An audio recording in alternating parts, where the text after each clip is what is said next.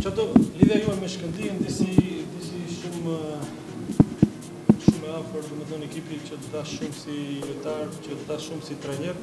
Tani, edhe fitorja e parë jote në Europë, në fakt fitoret, sepse ishin dy, vijnë me Shkëndijën. I kënaqur nga, nga kjo ecuri? Po, sigurisht se jam i kënaqur edhe, ta them të drejtën, Që Daçien për shkak se kam një një përvojë të keqe me kët me ekipin e Daçies.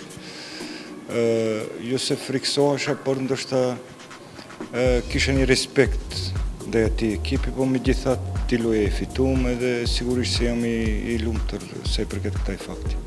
Duke ditur që më herët në karrierën tënde ishe eliminuar, ishe mundur dy herë nga Dacia, ë po i fituat dy herë, por i fituat me rezultat të përgjithshëm shtatë me zero. Ishte më shumë se sa pritni? Po realisht po. Në me gjithë se isha i bindur se do ta kalojmë Daçien, e, ajo është e dyta, ekipi i Shkëndijës momentalisht që besoj që është ma kualitativ, atë edhe e dëshmu në, në lojët, e tregon në, në lojët, dy lojët e, që i lujtëm. Ashtu që isha optimist po edhe para ndeshjes se do ta kalojmë Daçien. Tani optimizmi lidhet edhe me ecurinë. Dy fitore bindëse, mendon që ekipit i ngrihet morali për të vazhduar më tej, sepse Dacia tani më është një, një faqe e mbyllur, Shkëndija shikon prej sot në drejtim të Helsinkit. Po ne edhe para lojës kishim rezultat të mirë edhe Edhe ajo na na dha një, një siguri në, në lojën e dytë kundër Dacias, ku treguam një pjekuri sa i përket rezultatit të parë, domethonë në, në lojën e dytë ekipa si ekip e dinte se çfarë donte.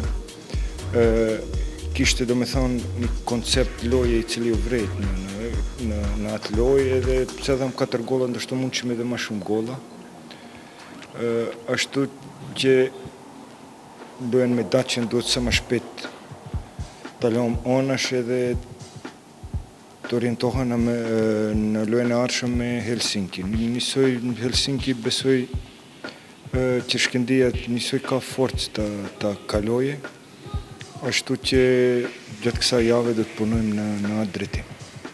Keni mbledhur informata, do të jetë më vështirë se me Daçien përballë Helsinkit apo realisht Shkëndija mund të synojë raundin e tretë? Po Informata kemi, por mendoj se nuk janë të mjaftueshme gjatë këtyre ditëve. Nesër më së voni edhe i marrim krejt informatat se i përket ekipit Helsinki. Sigurisht se në pamjet e para bëhet fjalë për një ekip shumë më kualitativ se, se Dacia, por megjithatë jemi optimistë edhe shpresojmë të kalojmë në, në raundin e, e tretë.